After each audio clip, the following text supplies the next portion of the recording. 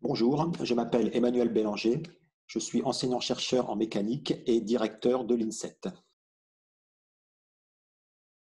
L'INSET est un institut de l'Université de Picardie-Jules Verne installé à Saint-Quentin depuis 1964. L'INSET est installé sur le campus universitaire de Saint-Quentin avec l'IUT de l'Aisne. Les spécificités du site de Saint-Quentin et de l'INSET sont euh, le développement de formations technologiques dans, différents domaines. L'INSET est une petite structure composée d'à peu près 400 étudiants on peut donc dire que nous sommes une structure à taille, humaine, avec des spécificités bien, bien reconnues, qui sont les suivantes. Des filières technologiques euh, reconnues par les professionnels et les industriels, et surtout un fort développement de l'alternance à partir de nos formations licence pro et master, qui permettent à nos étudiants de s'intégrer euh, très rapidement euh, dans l'industrie.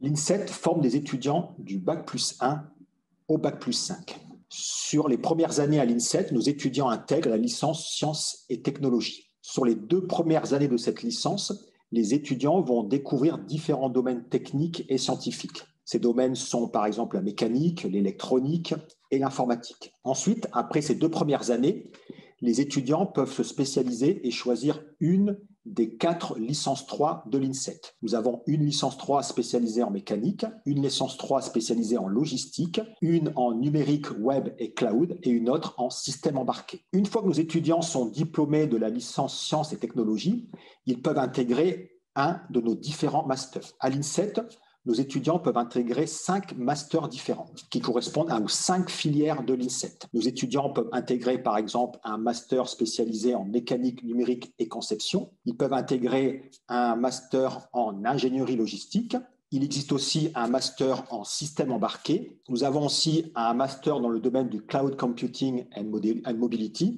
Et pour terminer, nous avons le master euh, industrie numérique, plutôt spécialisé en robotique. L'intérêt de, nos masters à l'INSET, c'est qu'au-delà de proposer des filières très spécifiques, très recherchées par les entreprises sur des métiers bien reconnus avec une forte demande, nous proposons la possibilité de faire les masters en alternance, ce qui représente un intérêt fort pour nos étudiants.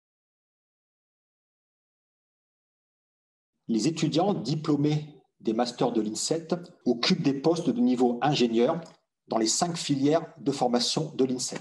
En général, il faut savoir qu'à peu près 90% de nos étudiants ont déjà obtenu un poste dès l'obtention de leur diplôme.